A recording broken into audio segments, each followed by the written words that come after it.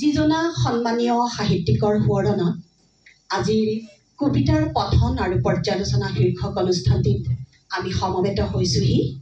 সেইজনা বিশিষ্ট সাহিত্যিক বিনন্দ বৰুৱাদেৱক শ্ৰদ্ধাৰে স্মৰণ কৰি তেখেতৰ সাহিত্য কৃতিৰ কিছু আভাস দাঙি ধৰাৰ প্ৰয়াস কৰিছোঁ। মূলতঃ শিশু সাহিত্যিক ৰূপে আত্মপ্ৰকাশ কৰি শিশু সাহিত্যত ৰাষ্ট্ৰীয় পুৰস্কাৰ বুটলিবলৈ সক্ষম হোৱা বৰুৱাদেৱে এশ পঞ্চাছখনতকৈও অধিক শিশু পুথি ৰচনা কৰি গৈছে। ইয়াৰ সমান্তৰালভাৱে ঔপন্যাসিক হিচাপেও নিজৰ পৰিচয় ৰাখি থৈ যাবলৈ সক্ষম হৈছে। ইয়াৰ সমান্তৰালভাৱে জীৱনী গ্ৰন্থলেখক হিচাপে গল্পকাৰ হিচাপে সাহিত্য সমালোচক তথা কবি হিচাপেও তেওঁৰ সৃষ্টিসত্তাৰ যি বিশালতা আমি অন্তৰেৰে উপলব্ধি কৰোঁ।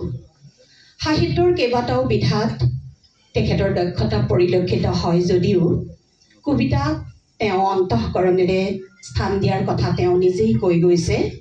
আজিৰ এই পঠন আৰু পৰ্যালোচনা অনুষ্ঠানত বিনন্দ বৰুৱাদেৱৰ দ্বাৰা ৰচিত এটি কবিতা পাঠ কৰিবলৈ আগবাঢ়িছোঁ। কবিতাৰ শিৰোনাম আহা বন্ধু আমি কথা পাতোঁ মানৱতাৰ আহা বন্ধু আমি কথা পাতোঁ মানৱতাৰ। ধ্বংস আৰু মৃত্যুক আঁতৰাই থৈ আমি কথা পাতোঁ শান্তি আৰু মৈত্ৰীৰ। এখন নতুন সমাজ গঢ়াৰ স্বদেশ আৰু চকালৰ মই জানো জীৱন মানেই তেজ আৰু মঙহ নহয়। তোমাৰ দৰ্শনক মই শ্ৰদ্ধা কৰোঁ। শোষিত নিষ্পেষিতজনৰ কথা মনত পেলাওঁ। এখন নিকা সমাজৰ সপোন ৰচো।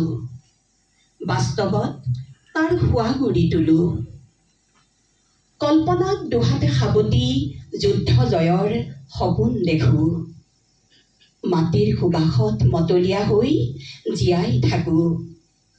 আহা বন্ধু আমি কথা পাতোঁ মানৱতাৰ শান্তি সম্প্ৰীতি আৰু মৈত্ৰীৰ লেলিহান জিভা মেলি অগ্নিৰ শিখাবোৰ তোমাক আঘাত কৰা দুখত মই দুখী। নিৰূপায় বন্ধু নিৰূপায়।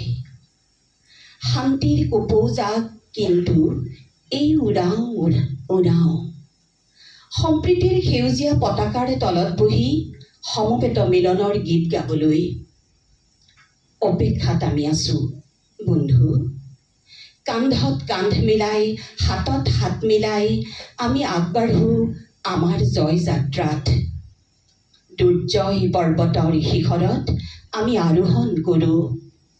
সত্য আৰু সুন্দৰৰ আধাৰত সমাজ গঢ়োঁ। পৃথিৱীৰ আন্ধাৰক নাশ কৰি মানৱতাৰ কথা পাতোঁ।